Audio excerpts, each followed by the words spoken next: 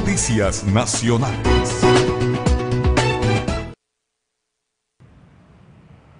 Cordial saludo para los televidentes y para ustedes en estudio. La Contraloría General de la República encontró un presunto detrimento al patrimonio público por 747 millones de pesos debido al vencimiento de 84.270 unidades de morfina por parte del Fondo Nacional de Estupefacientes.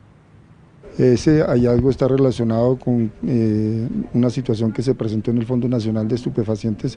Durante el 2015-2016 se compraron eh, más de las dosis necesarias para el consumo nacional del medicamento morfina al 3%.